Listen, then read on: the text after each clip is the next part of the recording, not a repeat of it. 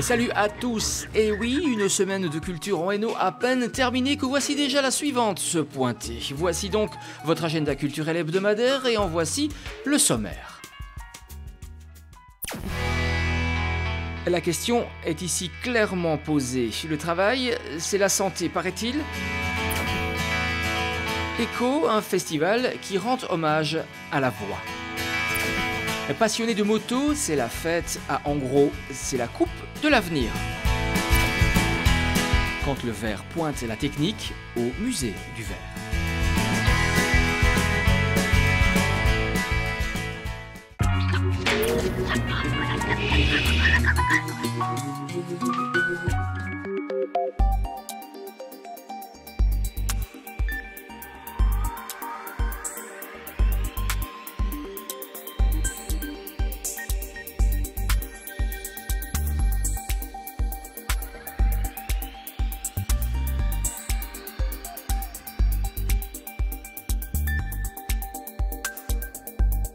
Organisée dans le cadre de Charleroi 1911-2011, cette exposition comprend trois volets. L'un consacré au verre peint en Wallonie de 1900 à 1930 avec une septantaine de pièces venant du musée du verre et de collectionneurs. Un autre présente l'évolution technique en la matière et notamment les développements contemporains.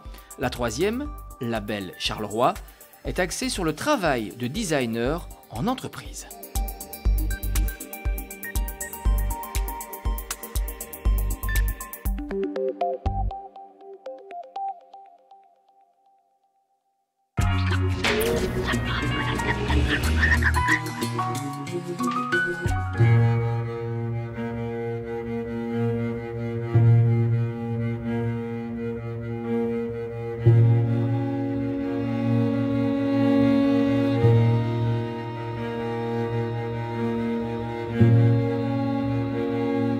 Avec subtilité, Nathalie Dewey intègre dans son travail la dualité matière non-matière, qu'elle considère comme le cœur même de tout objet d'éclairage. Ses œuvres se caractérisent par une utilisation parcimonieuse de matériaux, un nombre minimum de pièces et le souci de la facilité de fabrication. À l'occasion de sa désignation de designer de l'année 2011, Grand Ornu Images propose la découverte de quelques créations significatives de Nathalie Dewey, présentées dans l'accueil général du Grand Ornu.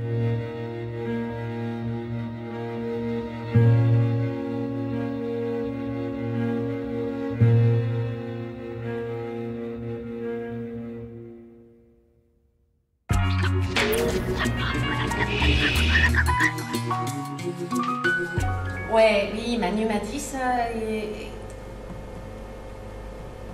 Ouais, mais tu sais, euh, ça arrive, hein Ouais, ok, ok, ok, ciao, ciao. Le travail, c'est la santé. Ah bon? À travers la réalité du télémarketing, la question est ici clairement posée avec légèreté et conviction. Nourris de documentaires et d'investigations sur le terrain, cinq acteurs pointent avec un esprit ludique la réalité de ces larges plateaux où, en randonnion, des jeunes, la plupart débutants professionnellement, appellent le monde entier pour vendre à tout prix. Dans un portrait scénique volontairement fragmenté où s'entremêlent jeu, son et vidéo, il questionne, non sans humour, l'intimité fragilisée de ces voix de la vente.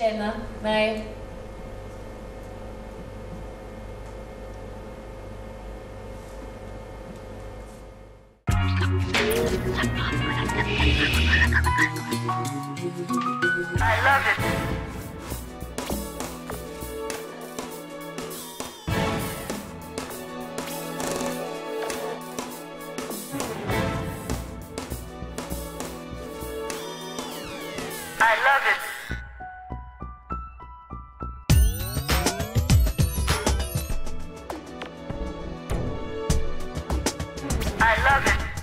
C'est pour elle que vous devez aller au musée de la photographie de Charleroi ces prochains mois, parce que Marion Grenier photographie bien des monstres. Pas tant des êtres qui seraient simplement effrayants ou monstrueux, mais plutôt et littéralement de ceux qu'on montre. Marion Grenier nous a fait surtout voir dans l'enfant et dans ce que certains parents tentent ou arrivent à en faire, plus un jumeau ou un clone qu'un descendant. C'est vraiment surprenant.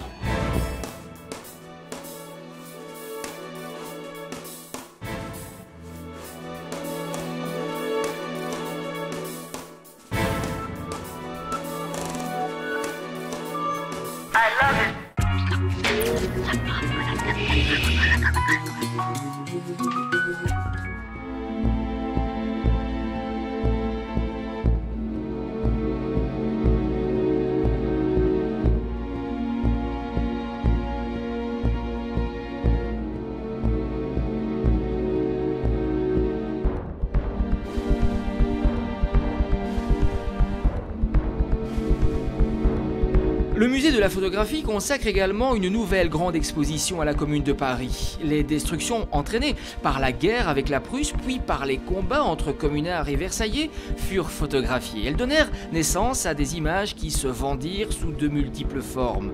Jean Baronnet, spécialiste de la question, resitue la chronologie historique, les enjeux politiques et le malaise qui, aujourd'hui encore, entoure cette formidable explosion populaire qui prit des décisions incroyablement en avance sur leur temps.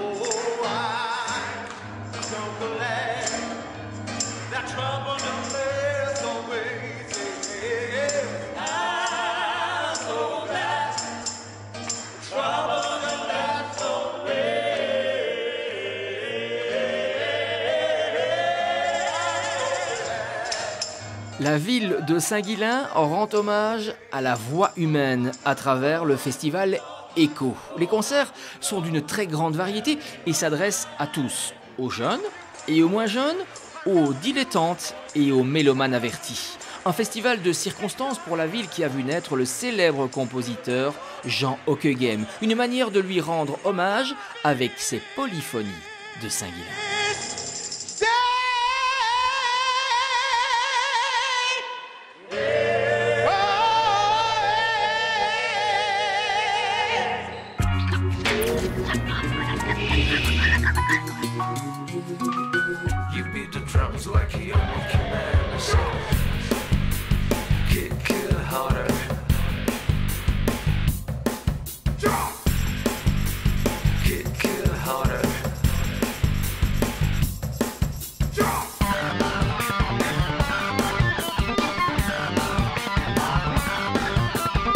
Amoureux de sensations fortes, passionnés de moto de cross, n'hésitez surtout pas à venir fêter les 4 décennies de cette usine à Champion, la Coupe de l'avenir. Une compétition qui met en présence les meilleurs jeunes pilotes essayant d'atteindre le haut niveau. Plus de 10 nations en présence et des jumps à vous couper le souffle.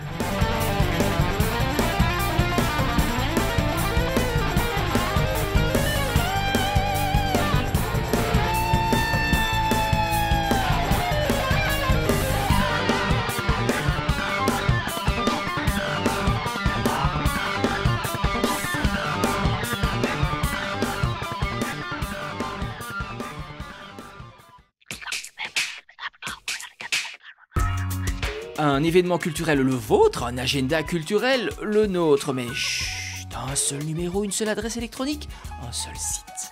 Le travail, c'est la santé, ah bon, mais la culture, c'est la conserver. À la semaine prochaine.